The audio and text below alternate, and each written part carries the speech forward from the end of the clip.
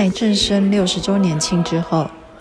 大家被学长姐们一唱就是四十多年的热情所感动，但秀友团也面临了团员的年龄断层问题，于是，在后继传承的基础考量下，成立了青年小团，让我们这一群平均年龄在四十五岁左右、正值事业和家庭两头烧的青壮年群，利用平日周间晚上。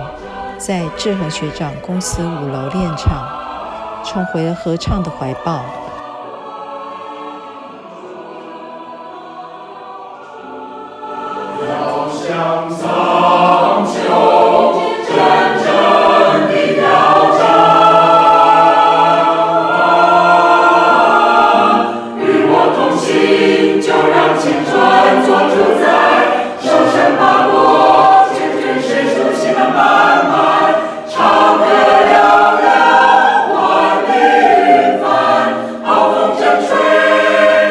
相对我来说，嗯，可以说改变我的人生。因为在正声合唱团，我认识了我的另一半。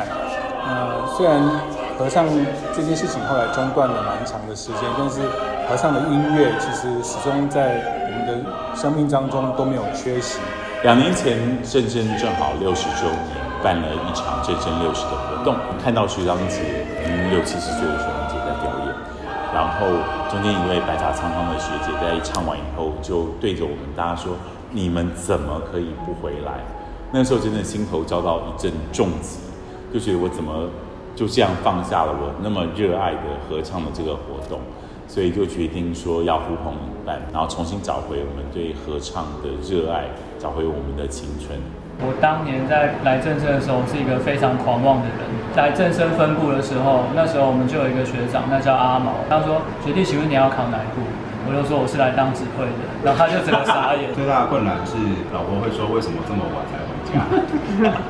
今天结束开车回去大概也都十一点，那就是可能是一点多小朋友都睡了。我总是觉得在合唱的和声里面那样的一种和谐，其实是非常的享受。就是让我们的年轻的时候喜欢过的事情、热爱过的事情，真的可以重新回到我们的生命里面。觉得新的学长帮郑生写了这个六十周年纪念曲，为郑生量身打造的曲目，我觉得蛮难得的机一个机会，就是校团跟张老师也愿意把这个曲子搬到嘉音乐厅上面。人不怕老，只要只要练唱的话，那个感觉是蛮好的，因为每个人都是出了很大的决心跟代价，你才能下班过来练唱。过程当中，哦，也许我们可能没有像当年记得那么熟了，或者声音没有像当年那么好，可是都可以感受到大家很认真的看待这一次的演出。